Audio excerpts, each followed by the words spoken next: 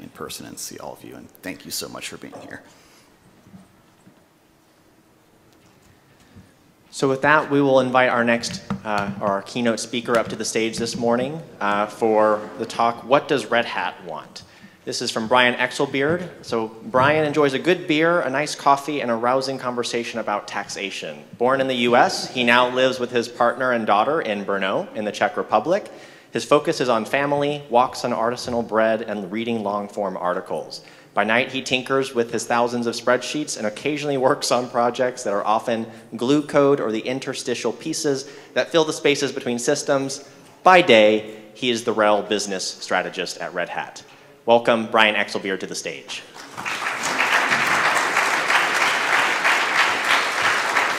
It, it's true about the tax conversation at dinner last night. He was a very, very passionate, exciting uh, thing about how, how taxes have done.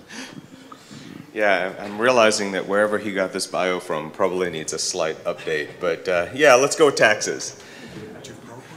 I have no slides. No slides. Thank you. I would like you to, please.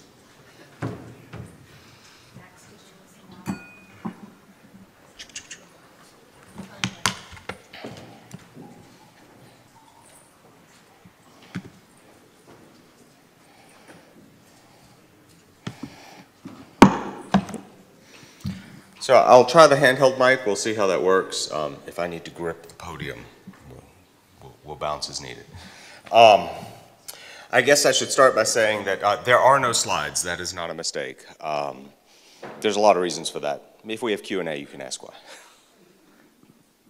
So it's great to be back at Flock. This is my first Flocks, actually, since 2018, not 2019. Um, 2018 also happens to be the last Flock that I helped plan. I didn't get to 2019 in Budapest because my daughter had just been born. And I like all of you, but I really love her. And when she was only a few months old, I wanted to spend more days with her than with you, nothing personal. Um, if I did had slides, um, I would spend the next 10 minutes showing you pictures of the most beautiful child you have ever seen. Lucky for all of you, she is here in Ireland at this event, uh, and she hopes to come to game night tonight and she invites all of you, she told me this this morning, to come and play Unicorn Glitter Luck with her, which is a cooperative game that my partner tells me is also a metaphor for software development. Uh, this is also great to be at a CentOS Connect. Uh, my understanding is this is actually the second event to carry that name. Um, you'll notice a theme here. I also missed the previous CentOS Connect that was in Brussels earlier this year. Uh, this time it wasn't my daughter, though. It was an airline. I had been doing some personal travel right before this, and they canceled my flight home. So they trapped me in the, on the beautiful island of Madeira for a week. Um, so I was trapped in paradise, literally. Uh, and if I had slides, I would be showing you pictures of me being very, very grumpy in paradise. Um, my understanding is that someone plans to circulate one of those pictures, so good luck. Uh, that is not a badge, but it could be useful. Um, there's also a picture of me in cat ear headphones because I was trying to work with all of the equipment I had, including my daughter's headphones. Now, there's some debate about whether speakers should introduce themselves at the beginning of a talk or at the end of a talk. Um, and either all of you got way fitter and way more beautiful, or there's a lot of new faces in the crowd. So I'm going to go with the beginning of the talk. I am Brian Exelbierd, and today I'm a technical business strategist for Red Hat Enterprise Linux in the RHEL business unit. I focus on what RHEL should be doing in like 18 to 36 months, so way out there. Um, my specific area of focus is on upstream communities, developers, and something that we call the unpaid Linux market. And as a part of this work, I happen to work directly with the CentOS project as I sit on the CentOS board as the Red Hat liaison to that project. Prior to this, I was the FCAIC, the Fedora Community Action and Impact Coordinator, and that's why I had the privilege of planning Flock 2018 in Dresden. But 2019, this role had passed to Marie Nordin, and now it's being held by Justin wherever he has run off to. Um, and they are both doing amazing jobs, way better than I ever could have.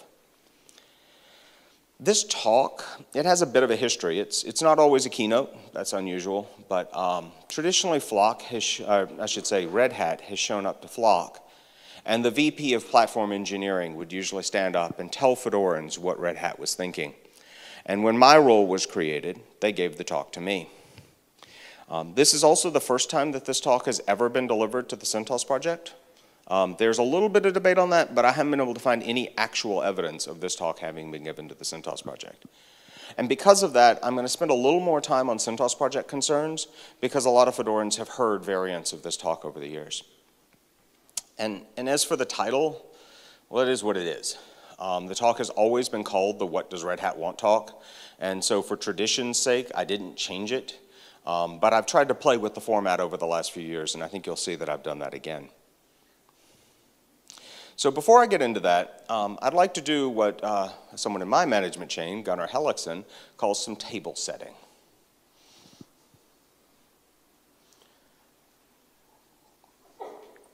So let me start with this. I work for Red Hat, and I am here talking on behalf of Red Hat. And that means that I am biased. I like RHEL, I like the outputs of the Fedora and the CentOS projects. Everything else is fourth place at best. At Red Hat, we view operating systems through the lens of the problems that the customers, potential customers, and partners face in the markets that we want to serve. We're cautious in what we say and in what we promise because we expect to be held to those promises and we expect to have to back them up. So we don't casually use words like production or casually try to predict the future. And so with that having been said, to kind of give you a frame of reference for where I'm talking from, I want to start by comparing a few things. I want to compare code and community. To paraphrase my friend Matthew Miller, Fedora Linux is an operating system. It's bits. And Fedora, it's a reference to the Fedora project, which is the community, and that's people. And I'm noticing more and more that people are using the language of community to talk about bits. For example, I'm seeing a lot of conversation about CentOS Stream, which is bits, and then someone tries to conclude by making a, a, a conclusion about the CentOS project, which is people. That's a problem. Something else that I've been noticing is that there's a lot of confusion about companies and communities, especially when the community project is sponsored by a company. And this is something else that comes up a lot when Red Hat's talked about, because we sponsor a lot of projects. And I'm seeing that some of our new enterprise Linux friends, they're having this same challenge too. So we need to think about the difference in those. You see, done right, and I do think Red Hat does this right, the community is held at arm's length. The community has the independence to be able to have a separate opinion on the same things that the company has. It means that they have agency, that ability to have an independent viewpoint or opinion. And I want to talk about agency for a minute because it's a very critical, critical topic. Agency is that ability to act independently, and it, it, it is very important.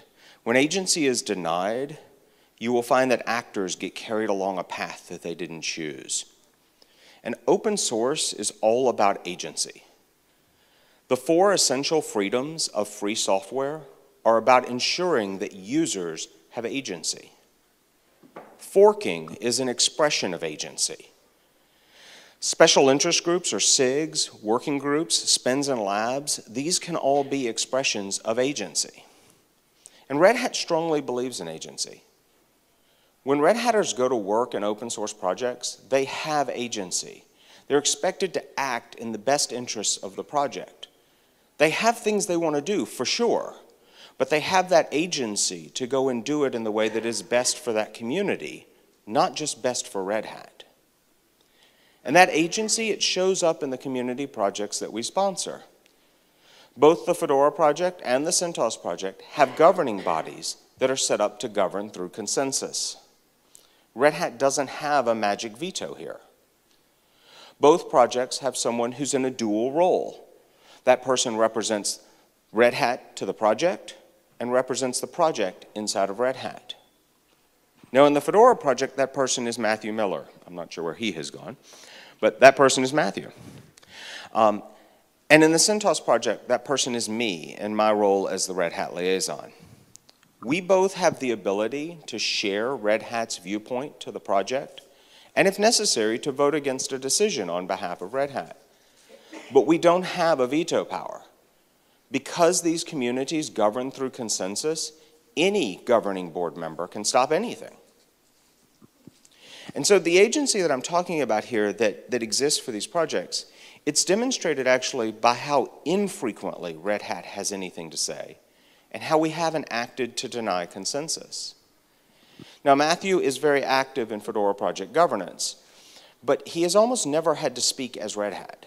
And if you look at the Fedora Council's decisions, you'll find that they're almost all unanimous consensus, but all by consensus. And in the CentOS project, you can see that agency very directly because there's a liaison. For those of you who know me personally, you know that I like to talk, often about taxation. But if you go to a CentOS project board meeting, you will find that I say very, very little. And that is because there I speak as Red Hat, and Red Hat doesn't have a lot of opinions, and we haven't needed to deny consensus. The Fedora project and the CentOS project have agency. There is not an interlocking governance uh, structure that is shared with its corporate sponsors. And while the projects may at times have a significant number of Red Hatters in them, and in their governance in particular, it isn't because this is a requirement. It's because those Red Hatters are passionate about the community, and the community has recognized this. And they've selected those Red Hatters through whatever the process that each project uses to select members of its leadership. They're not being selected because they represent or are acting on behalf of Red Hat. To put a very fine point on this, there are several Linux projects where the CEO of a company is also the project leader. And I like Matthew a lot. And he keeps looking up every time I say his name, which is great. he is a distinguished engineer at Red Hat. And I really believe he deserves this title. But he is not the CEO of Red Hat. And you have a lot of agency. You have the agency to start or join a SIG. You can build a new spin. You can land your code. You can go build a user base and bring them with you. And you should feel confident and safe in your ability to inspire and influence people and know that your work will help many. And, and I think the real message for this part of this is if you think you're blocked by Red Hat somehow, come talk to me. I will be very happy to remind you that you're not because you have agency.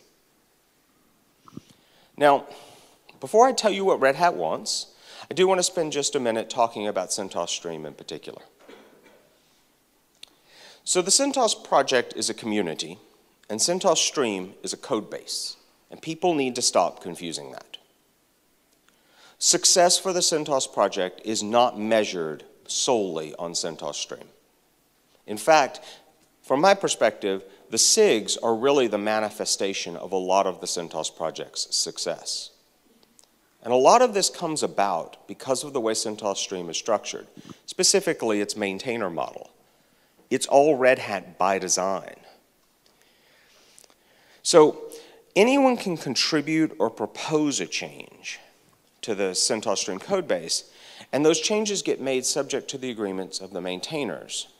And at Red Hat, we've been very consistent in describing it this way. You can propose a change, the maintainers will review the change. So the real question is, why is it like this in terms of the Red Hat only maintainership? And it's because Red Hat conceived of CentOS Stream for several reasons. And, and the two that we talk about the most are that we wanted a place that we could open up minor release contribution and development for RHEL to a broad non-Red Hat audience in an accessible way. This is very much like what we do with major release RHEL development in the Fedora project. Also, we wanted to further enable participation for our open source ecosystem partners. And we've been consistent in describing our goals with CentOS Stream this way. But I think what people are missing is that at its core, what CentOS Stream really is, is it is an open sourcing of the practice of controlled, limited operating system change. Now that is part of what we deliver as the value of RHEL. And that practice results in a code base that is fantastic to use to build Linux distributions. It makes slow and deliberate changes only after extensive testing and a lot of contemplation. And this is why you may see contributions get rejected. You see, if that contribution isn't required by RHEL, then that contribution isn't needed in the operating system. You have to have a basis for accepting contributions, and this is the one that we chose. But what if you need that change? Well, this goes back to the agency. You see, that's where SIGs come in. SIGs can build their own Linux distributions. They can layer software on top of them. And this allows them to focus on their differentiation. It lets them focus on serving a specific set of use cases or a specific audience. And they only have to do the work where what they want varies from what a RHEL audience would want. And this is a real model. It's existed long before CentOS Stream did.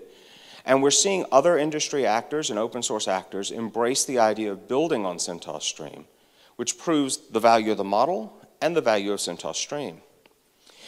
But it also shows how refinement and targeting make everything better. It makes each Linux distribution more valuable to its users because you can't be all things for all people. Another proof point for the value of CentOS Stream is that we use it to build almost all of the approximately 17 different versions of RHEL that we are shipping at any one time. The only ones that we're not building from CentOS Stream are the ones in the RHEL 7 major release family. And we don't do that because there is no CentOS Stream 7 to start from. Now, I've talked a lot about CentOS Stream's code, and I can't talk about the code without also addressing the very complicated view that Red Hat has of CentOS Stream binaries. So remember, Red Hat's cautious. We take CentOS Stream, we pass it through a productization process, and we wrap it with a bunch of promises and agreements and services for delivery to our customers. So we only recommend RHEL be used in production. If you have a RHEL-shaped problem, we're going to tell you to use RHEL. Now the converse of that is this. If you come to Red Hat and you go, hey, Red Hat, is this recommended for use in production? We're going to say, okay, well, how does it relate to the promises and agreements that we make with our customers? And if it doesn't match, we're not going to recommend it. And so this is why you can find a statement on a Red Hat website right now, today, that says CentOS Stream is not designed for production use. And the reason for that is that it doesn't fulfill the specific promises and the specific agreements that we make with our customers. Now, there are a lot of Linux distributions out there, and there are a few that claim to solve the same problems that RHEL does. We think RHEL is the best of all of them, and we don't recommend any of the others for use in production. But this doesn't make them bad operating systems. It just means we're not recommending them and we're not going to make a promise about them. But I want to be super clear here because there seems to be a lot of confusion. If you've got a problem that CentOS Stream or Fedora Linux solves, use it. They're both great operating systems. They're operating systems you can trust. I know people who use CentOS Stream personally. They're very, very happy with it. I happen to run Fedora Linux, specifically Fedora uh, Workstation and Fedora IoT on my own devices it fits the bill for me. I don't need what CentOS Stream or RHEL is offering. I've chosen what meets my needs. And when I have this conversation with folks, inevitably they come back to me and they go, okay, Brian, all this is true. Why did Red Hat put that code in the CentOS project in the first place? And so, for CentOS Stream to be successful by our measures, we knew that we needed infrastructure that a successful open source project has. And this really comes down to an investment question. Because we could have stood up whole new infrastructure, but we didn't do that. There was obviously some other choices, and we obviously went with one of them. So why did we do that? Well, it all comes back to this investment. When you invest, you're investing for the future at the, the cost of not doing something else today. A dollar that I save is a dollar I don't get to spend on craft ice cream. So when we were looking around, we were like, well, where are we making similar investments? We found two places. We were making an investment in the Fedora project, and we were making an investment in the CentOS project. And we didn't want to stop those investments. We need a place like the Fedora project. It is where innovation and integration meet, and Fedora Linux sits right at that intersection point. And we need a place like the CentOS project. It is where we do work in technologies above the operating system, like virtualization. And it's where a lot of work happens where RHEL stops, and those folks carry it forward in different and exciting ways. So we had to make a choice. We have infrastructure over here in the Fedora project. We have more infrastructure over here in the CentOS project. What is the value of yet more infrastructure? And the answer is it's wasted duplication. It, it's going to deny me craft ice cream. It's going to deny resources to better uses. And so it was obvious we needed to co-locate this code. The choice of the CentOS project just made sense. So this brings us to the question, or I should say the major topic today, which is what does Red Hat want?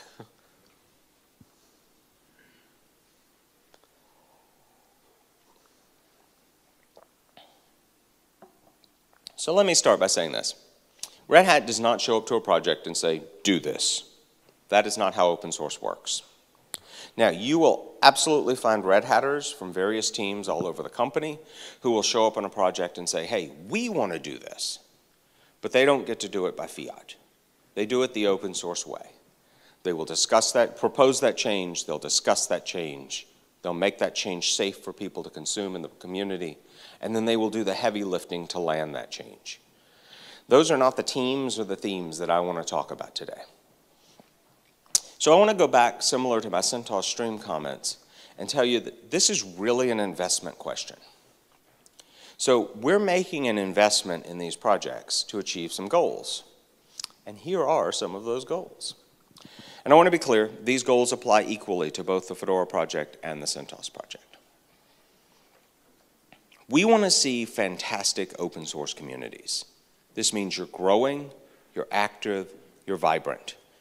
They're places where Red Hatters can go to engage the open source way. And we know that a part of having functioning great open source communities are that people are using your outputs. And so we want to see your outputs be specific. We want you to know who do you want to serve, why do you want to serve them, and how do you plan to serve them. We want the projects to have a voice. Be you. Red Hat is not going to be your proxy when you choose not to talk, and we're not going to show up and tell you what to do or what to say. We want you to fill in the white space in Enterprise Linux. White space here is a reference to all that place that, like it's in the background, it never seems to get looked at. And so an example of this is actually in the desktop operating system space. Red Hat and RHEL are deliberately not in that market. We chose to exit that market. We're not there. We do offer a workstation. Workstations are very specific kinds of hardware doing very specific kinds of work, not general purpose desktops. The very confusingly named Fedora Workstation is a fantastic desktop, and it is doing a very good job of filling that white space in Enterprise Linux. Related to that, we'd like to see cross-pollination between the projects and within the projects. That could be the projects working together themselves. It could be SIGs working together. We want to see you connect yourself where it makes sense. We want to be able to realize flows like somebody needing to make a contribution to Fedora Linux, even though Fedora Linux doesn't meet their consumption needs, and then consuming that contribution through either CentOS Stream or RHEL. Now, I've talked some about what Red Hat wants. Inevitably, someone will ask in the Q&A, is there anything Red Hat doesn't want? Well, yes, yes there is. Red Hat does not actually want to monetize the entire market of Linux consumers. We're not interested in that. We know that there are people who do not ever want to pay Red Hat or may not ever want to pay for Linux. And that's great. Good for you. Have a nice day. And I want to be clear that within the market of folks that we do not want to monetize, there's a significant number of people who just don't want the things that RHEL promises and delivers. If you don't need RHEL, we're not going to sell you RHEL. And while I'm talking about this monetization concept, even within the part of the market that we want to monetize, there are significant segments that we don't want to. And you can see that in the RHEL developer programs for individual and teams. We're not interested in monetizing what we call the development use case. And there's a related point here, and that is that Red Hat's open source strategy is one of differentiation.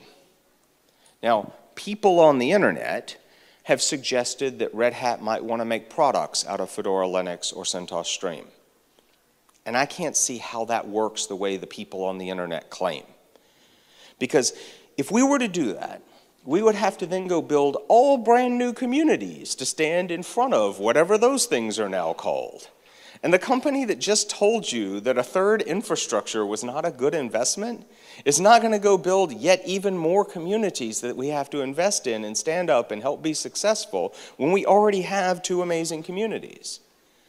Besides, if, if we really wanted to somehow make one of these things a product, we'd just go create a derivative operating system, which is exactly what we're telling everybody else that they should go do. It is a model that just works for everybody here. Another thing that we, we don't want to see is we don't want to see the Fedora project or the CentOS project try to deliver the RHEL value and promises. And the reason for this is because we don't see the projects as competition. We want to make sure it stays that way. But the bigger reason for that is that the projects shouldn't be trying to duplicate each other or Red Hat.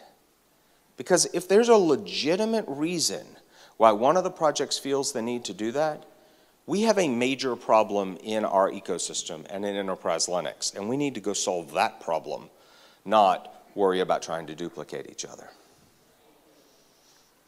So, I apologize, I've lost my place in my notes. While I'm mentioning competitors, we're not worried about competitors. Competitors make a market stronger by bringing differentiated value. And the key here is differentiated value. The operating system is not a commodity, and you can prove this by the number of operating systems that are available for you to use in the market. And so in our view, if someone tries to copy RHEL without adding any improvement, but just making it cheaper, it harms everyone. This activity creates confusion for consumers who often come away with a false sense of security because they think a promise has been made about the copy that hasn't been made. And when you consider the act of copying, it creates a race to the bottom. It generally starts with a lowering of prices, which is because the copier has an almost zero lower bound for pricing. And all of the costs, they're being borne by the thing that's being copied. So this reduces the funding that's available to improve and grow the original. And the response in other industries is to start to cut it. You try to focus it more narrow and more narrow. In software, what you'd see is the code base would become more specialized and it would meet fewer people's needs. Now, as an open source community, we like to think that open source is immune to this. We have the ability to contribute upstream, so none of this is going to happen for us. But if you start to examine this, what you'll find is it, those upstream contributions, they're not the thing being copied. What's being copied is the distribution. And the distribution is an opinionated um, collection of all of those upstream components. And that opinionation is the differentiation, and that's what's being copied. That opinionation, that differentiation, it's developed by product managers, by market needs. And if you destroy that market, you destroy that ability for that differentiation to exist and for a strong, healthy market of differentiated offerings to exist. Now, what I've outlined today is not new. Um, over the years, this talk has gone from generalities to specifics and back again. And in every version that I've seen or given, there is an underlying theme here. Red Hat really wants to build the best-in-class enterprise products for the problems that we want to solve in the markets that we want to serve. And critically, we want to do this through an open source development model. This model enables entire ecosystems to grow well beyond what we can directly address or even have an interest in addressing. And truly amazing communities like the Fedora community and the CentOS community multiply that even more.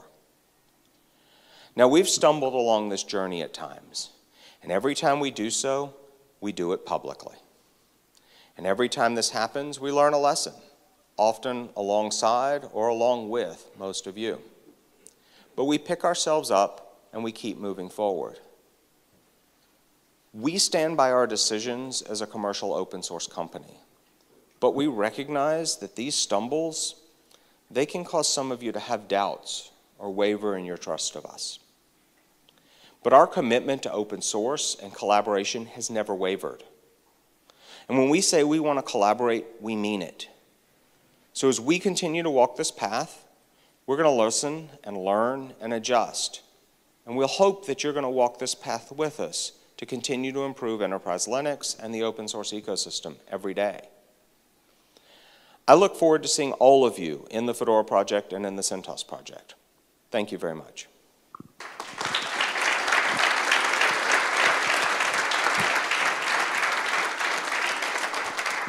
Justin, may I have, thank you. Uh, Justin is supposed to tell me if I'm allowed to have questions or not because Matthew talks a lot. So we are at 10:30, so we have a coffee break lined up, but I figure we can take one question here because I see one hand, and then we'll break for coffee from 10:30 to 11. Thank, the, the speech was really good, but one thing I'm thinking of, as like a commercial open source project, there has been stumbles. When does like the business kind of take over? Like what's happened last month where Red Hat and IBM decided to make closed sourced.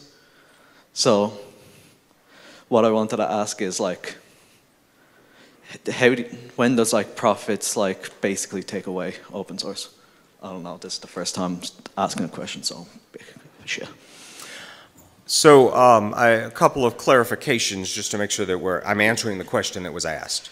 Um, Yeah. First, the decisions that were taken recently were all taken by Red Hat as an independent entity. IBM had nothing to do with it. Um, and Red Hat's code is still open, it is not closed.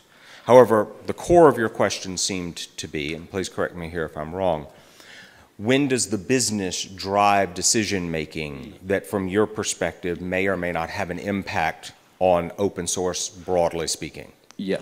Okay. Um, I think the answer to that is that, like all companies, Red Hat is constantly looking at the market and looking at what is going on in the world, and we have to make adjustments to how we, we handle our product. One of the things that we do is that we have an upstream first philosophy at Red Hat, which means that we contribute all of our code as far upstream as it is possible to contribute it. What we find sometimes is that upstream projects are like, they're super excited to take our code and they do it and their, their output becomes better. And the broader community of us, our competitors, everyone is enriched by this contribution that Red Hat has made. In some cases, we show up to upstream projects and they're like, wait, we wrote this? This is like 10 years old, dude. Seriously, no. Um, and that's cool too. Oftentimes we visit our friends in Fedora where they're like, mm-mm, no, that's not happening. We, we do every 13 months. Please go away. Um, but eventually we, we do find a home for it. CentOS Stream being, I'll say, the home of last resort because ideally things flow into CentOS Stream. And so in that sense, I think that the business can do whatever it wants on the product side, and the code is always out there. The code is guaranteed to be available. Anyone can pick up these upstream components and build the opinionated, differentiated Linux distribution of their dreams. There are absolutely going to be decisions that Red Hat has to undertake for its own fiscal well-being. Otherwise, we can't afford to pay all of those developers that are doing all of this contribution into the upstream. Um, but it, I will say that there's a natural tension in engineering companies in general, which Red Hat is one of, between engineering-led and business-led. And I think that all companies face that tension, and most of the time, most people don't notice it because it's like ripples below the ocean. And sure, occasionally, sometimes you're like, whoa, what was that? Oh, one of the teams must have just suddenly asserted themselves. But in reality, a lot of it is around the idea of when you're in an engineering led organization, you are focused on solving the problem that you perceive the customer is having from the point of view of an engineer. And when you're in a business led organization, you are solving the problem that the customer has from the perspective of what the market is telling you. And um, if you, I don't, I'm not sure whom you work for, you may very well work for Red Hat, I don't know. But if you go talk to your peers in the industry, I think you'll find out that a lot of people sometimes wind up working on a piece of code that they never execute themselves or that their execution of it is, for lack of a better way of saying this, they have the hello world level execution. Um, I happen to run a piece of uh, a, a server virtually that's running Fedora IoT. I would not pretend to be the example of what Fedora IoT is trying to target. So my ideas of how that product should improve personally are not necessarily relevant to the vision of the market that that product's actually trying to serve. And I think that's the tension that you're seeing a lot of here. Thank you all very much. Enjoy coffee, because I know Justin wants to get me off stage.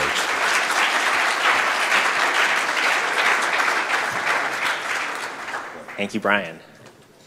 So, quick housekeeping. Uh, we are going to break for coffee. Speakers, just as a note, we will have laptops provided in the room. So, you can open up an online link, or if you have offline slides, you'll need to make sure you have a USB key or some way to put those on the laptop. We do have some at uh, either me or Sean can get you a USB key if you need. Uh, otherwise, we'll be starting back up at 11. There's three rooms upstairs uh, that have uh, three smaller sessions. We'll have a session back here at the main stage, and we'll be back at 11. Enjoy your coffee. And